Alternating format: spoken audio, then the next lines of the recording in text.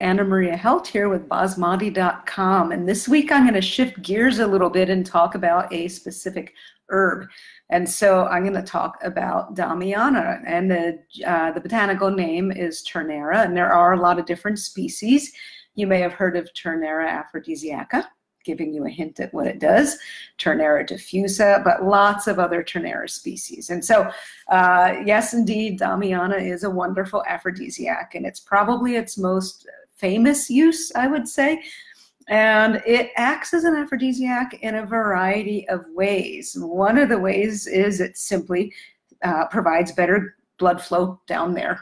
And so uh, blood flow going to the genitals is one of the ways it's useful for sexual functioning, but it's also great for low libido, uh, especially if libido is low because of anxiety any stress about sex in general, uh, Damiana is a great herb for support there. So it's working by many different mechanisms to help people uh, with their sex drive and their sexual functioning. Now, I mentioned uh, anxiety. So Damiana actually is a, a lovely, relaxing, kind of calming herb on one hand. Um, and at the same time, though, it, I find it quite mood enhancing. A lot of people find it very uplifting. And so you'll see this often in those ubiquitous chocolate Damiana elixirs and tonics. It's a great way to use it. Uh, but it's a great, it's a great mood enhancing herb, even outside of the realm of um, sexual health, uh, just for people that are in kind of a funk. And so I remember being at an herb conference in Arizona and hanging out with some friends, and we were smoking Damiana and could not stop laughing. It was a very joyful herb, and we giggled for about 20 minutes. One like we would all stop, and one of us would get started again, laughing again, using Damiana.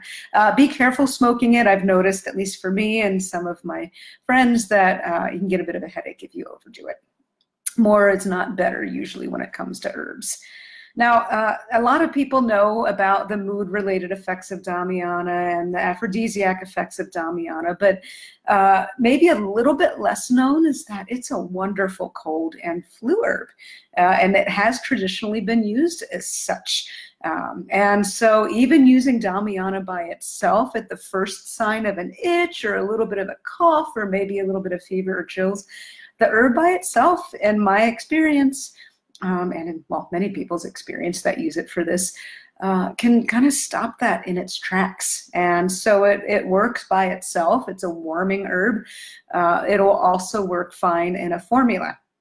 And so it's considered warming and, and a bit drying, and it can help if you've got a lot of congestion in your lungs. It can help uh, if you've got a lot of congestion in your head and your head kind of feels like a basketball because you're all stopped up. Um, but don't forget about using Damiana for respiratory stuff. Uh, another use for Damiana that is maybe not so well known is for acne. Uh, now, I, I realize that acne can be very stubborn and you need to pay attention to things like what you're eating or what you're not eating. And working with that, you need support for the liver and the kidneys are, are basically our organs of detoxification. Uh, waste removal when dealing with acne, but this could be one of the botanical allies that you play around with and just, you know, give it time uh, whenever working with any skin issue, it doesn't necessarily just go away overnight. Uh, and so whether you're using Damiana or some other botanical support for your skin, again, just give it time uh, to work. Don't just do it for a week and decide it's not helpful. Go for a little bit longer, try a month or two. Um, and before I move on to some of the other great things that Damiana does, I just want to show you the herb. It's, there you go. It's, there you go. Um, Oh, it's got a very distinctive kind of a musty and somewhat sweet smell that you'll be very familiar with if you've ever had Damiana cordials. Uh, it does have a wonderful flavor for smoking. Um, and since I'm talking about the plant, it has beautiful bright yellow flowers. And I look to those sorts of flowers when I am looking for um, plants for the blues so St. John's wort is another one that comes to mind that has those lovely bright yellow flowers. Even calendula um, for mood. Uh, but anyway, uh, back to Damiana. And so another use for Damiana is going back to the genital urinary system. It's great for inflammatory stuff going on down there, whether we're talking about say a urinary tract infection. And you know damiana may be useful there for a variety of reasons aside from the fact that it's antimicrobial um, as well uh, Damiana can be useful as a, a, part of a formula for prostate swelling and prostatitis. It may be useful for uh, other kind of inflammatory, irritating things going on in, again, the, the genital urinary system. So that the urinary system, how we pee, and the reproductive system. Uh, another thing Damiana is good for is the digestive system. And so it can help with people that get nervous digestion. And so, meaning you get butterflies in your stomach. Uh, maybe you get indigestion if you're under a lot of tension, under a lot of pressure, feeling stressed out. Uh, also, great for a lack of appetite.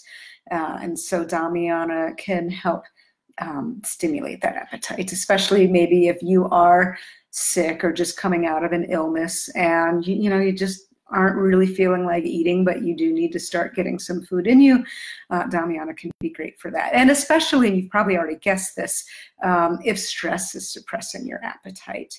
Um, and so, you know, for some of us, we tend to eat more when we're stressed out, but um, some of us uh, lose that appetite. And so Damiana is helping with that, probably in part through nervous system support, but it's also kind of bitter as well. So it's going to stimulate our digestive processes and make us more receptive to eating food and help our body actually better deal with that food.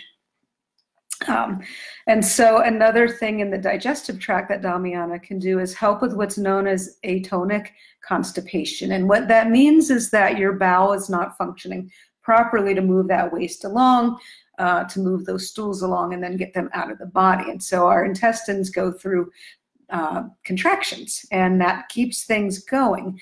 And if there's something going on with the nervous system and the musculature in our colon, uh, it can lead to constipation. Uh, you know, we wind up holding on to our wastes, and that's never a good idea. Um, you know, I'm not a big fan of the puke and purge, moving everything out really like acutely, but we do want to keep things moving along. And so um, Damiana in general, you can think of it as an herb to keep things moving along. It's going to help you poop.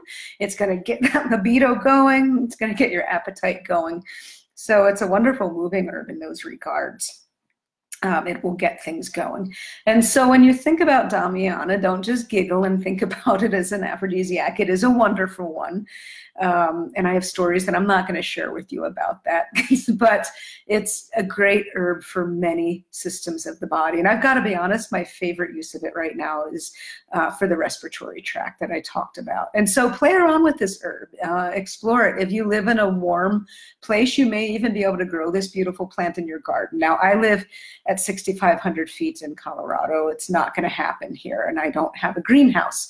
But if you are more in the south, say down in um, southern Arizona, southern Texas, very southern California, uh, you might be able to grow this in your garden. So you'll have something that's great medicine, uh, but you'll also have something that's a really pretty addition to your garden. And with that, until next time, be well, be healthy.